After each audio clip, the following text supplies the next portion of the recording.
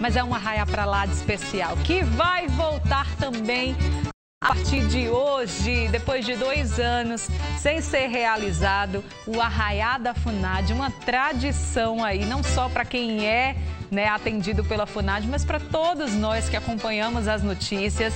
Vai trazer muita alegria para os pacientes lá da instituição. Vamos ao vivo para a FUNAD? Olha como tá bonita a nossa FUNAD. Charles Moraes já está por lá. Ô Charles, já tem matuto e matuta aí pronto para se arraiar? Diga aí. Oh, tem mesmo, viu, Anne? Bom dia novamente para você, bom dia aos nossos telespectadores. E por aqui só tem uma coisa que é extremamente proibida. Sabe qual? É parar nessa rede e tirar um cochilinho, viu? Exatamente isso que está proibido, porque o pessoal já está nos últimos preparativos para começar o festejo, o São João da FUNAD, que, como você mesmo disse, ficou ser realizado, claro, por conta da pandemia.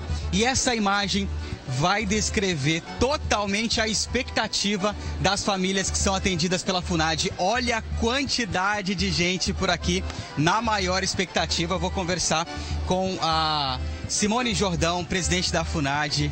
Simone, bom dia.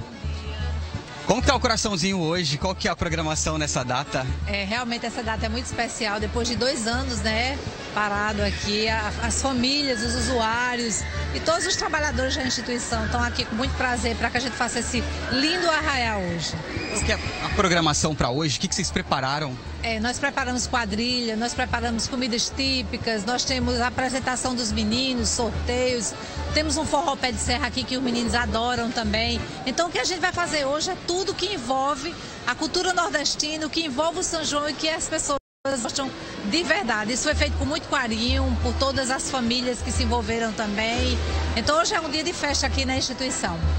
Presidente, como que você vê a importância desse momento lúdico para a instituição nesse processo de reabilitação?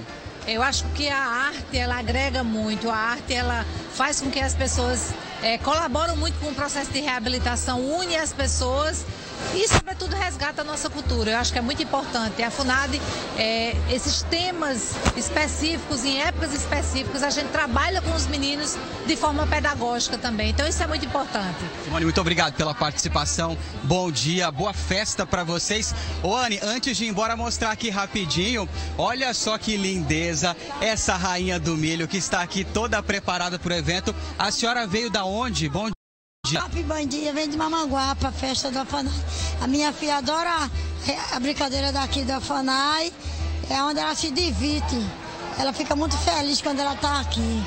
Obrigado, viu? Boa festa para vocês, momento de confraternização e todos os detalhes a gente mostra ao longo do nosso jornalismo, viu, Anne? Charles, obrigada. Mande um beijo para Simone, para toda a família da FUNAD. Um beijo para Maria Helena Rangel, né, que também está aí. Ave Maria, como eu amo esse lugar. É isso, meu povo, 7h52.